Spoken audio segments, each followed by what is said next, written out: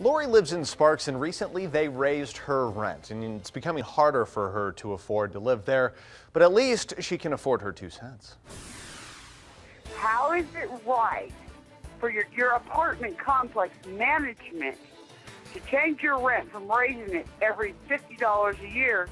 Now you get five months of a lease, and then when they raise it this time, it's going to be $256 to 350 bucks. And if you come and look at 520 Howard Drive and tell me, is this place worth it? If you have any way to help us, please do. Thank you.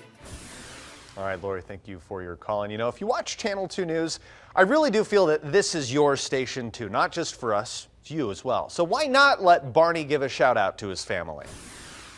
God bless uh, Guapo Boy Kaiden, uh, Kiana, Kayla, Mom, Dad, Grandpa Ernie, Ermi, and Auntie Clarita.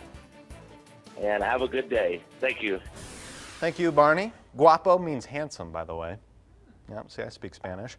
Um, finally, sometimes people don't always like what we do here on Channel 2, but John does.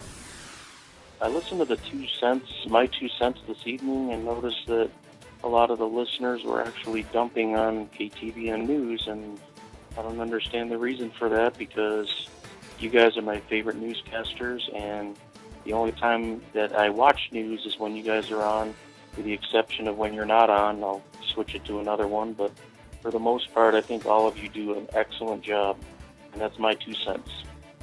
Thanks, John. Thanks, John. 861 4321, 861 4321 to give us your two cents. If you're mad about the fires, let us know. 861 4321.